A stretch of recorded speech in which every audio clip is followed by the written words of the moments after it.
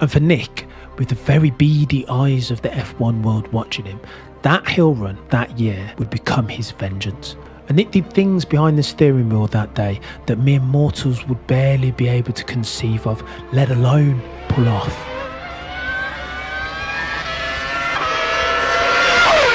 And as you look at the car and the way it's moving, to say it's twitchy is like saying Red Bull are half decent this year.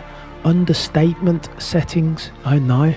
That West McLaren is trying to kill him, and not just on the twisties neither, on the bloody straights too. So relentless is Nick Heidfeld in the pursuit of lap time. He has his West McLaren dancing frantically, like the pitter patter of torrential rain on an uncooperative rooftop. He wrestles the car with a plan back away from the darker side of traction limits again and again. Oh, it's a weapons grade drive this.